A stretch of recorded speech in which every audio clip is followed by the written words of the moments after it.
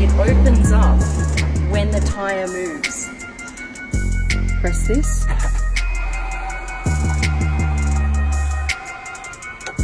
The coolest thing is this. Check out what these little diamonds do here. These little triangles.